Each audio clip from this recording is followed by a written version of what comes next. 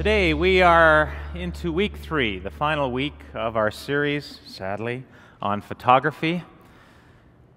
It has been hugely illuminating for me to look at what a photographer thinks and sees, is able to understand and know, and to ask, what does that teach us, God, about what it means to see and understand and know you more?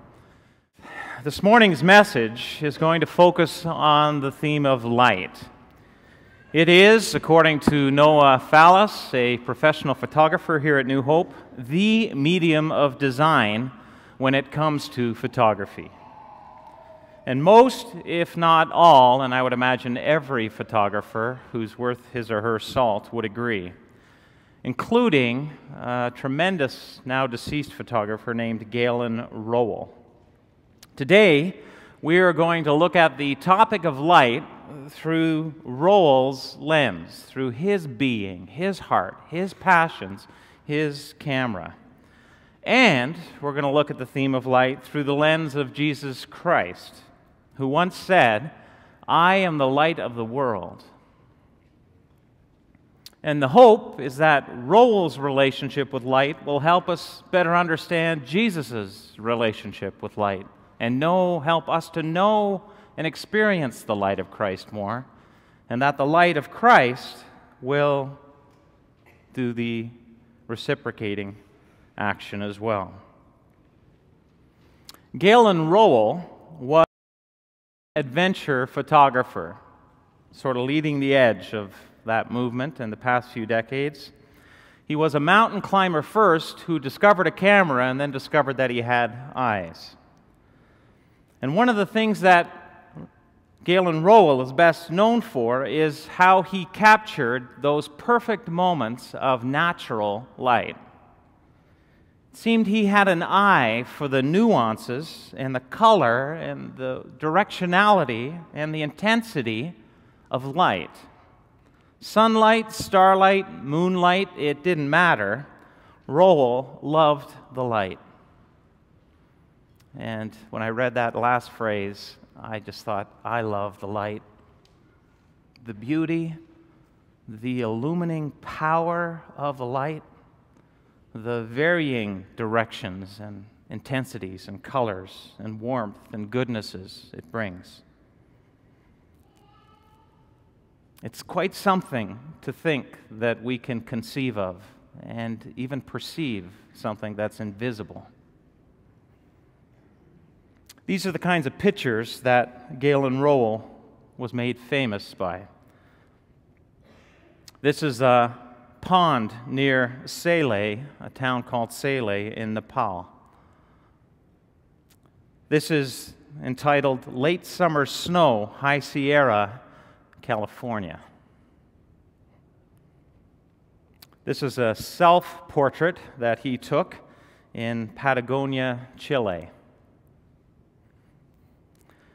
These famous mountains are called the Grand Cathedral in Pakistan.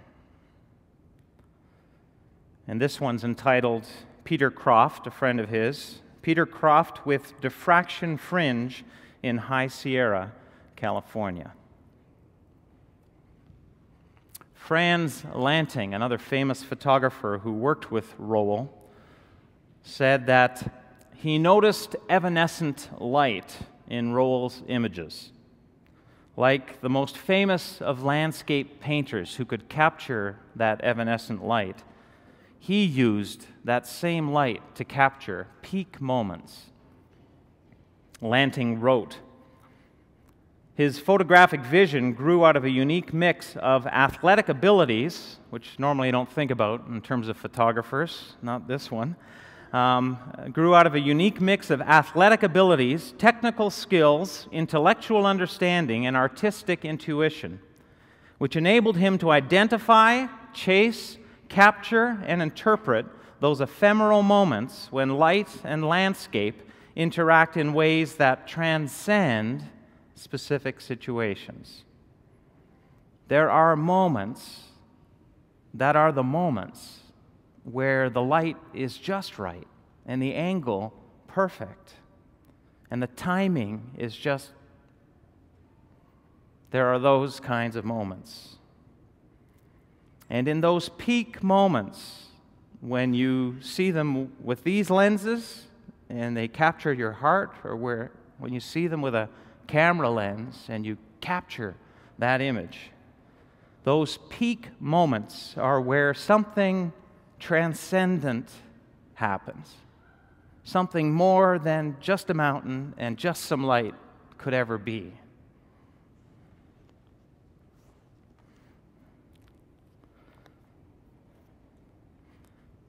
After six days, Jesus took with him Peter, James, and John, the brother of James, his disciples, and led them up a high mountain by themselves. And there he was transfigured before them. His face shone like the sun, and his clothes became white as the light. And just then, there appeared before them Moses and Elijah from history, talking with Jesus then and there. And Peter said to Jesus, Lord, it is good for us to be here. If you wish, I will put up three shelters one for you, one for Moses, and one for Elijah. And while Peter was still speaking, a bright cloud enveloped them. And a voice from the cloud said, This is my son whom I love. With him I am well pleased. Listen to him.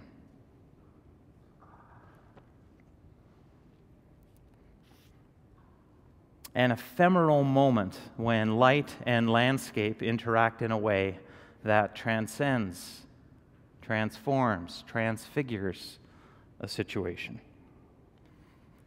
And those disciples and maybe some of these disciples saw who he was. I can imagine this holy moment they were caught up in that enveloped them like a cloud. This is God. And God is here with us. And in that moment, time just got blown out of the way. Moses was there, and Elijah was there. And just like when you take a photo or you go out on a shoot and you just get lost for hours, and time disappears. Time disappeared at this transfigurative moment. Something real, very real, and transcendent happened and just an ordinary scene. A couple of guys going up a mountain on a hike together. They met the face of God.